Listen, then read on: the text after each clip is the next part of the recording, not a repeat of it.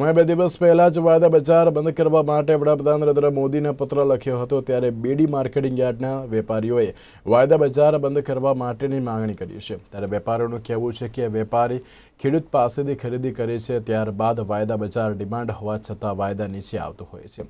વેપારીઓ ડિમાન્ડ હોવા છતાં નુકસાની ભોગવે છે, તેથી વાયદા બજાર બંધ થવું જોઈએ તેમ વેપારીએ જણાવ્યું હતું.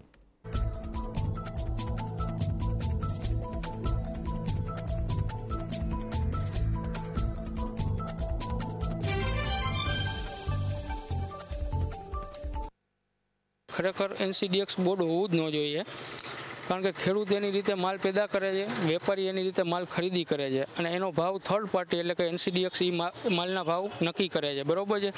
માનો કે લેવાવાળો સામે જ્યારે બજારમાં આવતો હોય, તો એ લોકો પણ વાયદા જોતા હોય છે કે આજે બજાર ડાઉન છે, તો અમારી ડિમાન્ડ જે માલ સપ્લાય કરવાનો હોય ડીલ ચાલુ હોય એ માલ રોકાઈ જાય છે. એના હિસાબે ખરેખર ગવર્મેન્ટને આ વાયદા ખરેખર હોવા જ ન જોઈએ એગ્રો કોમોડિટીમાં કે જેથી કરીને ખેડૂતને અને વેપારીને લોસ આવે. ના એમસીએક છે, એ નેતાનામાં છોકરાઓ જ હાકે છે. તો એમસીએક કોઈ જ હાલવાનું નથી. તમે બજારમાં, મોલમાં વસ્તુ લેવા જાઓ તો એ ભાવ કરે અને ખેડૂત પેદા કરે તો બજારમાં જાઓ તો લેનાર નક્કી કરે છે ભાવ.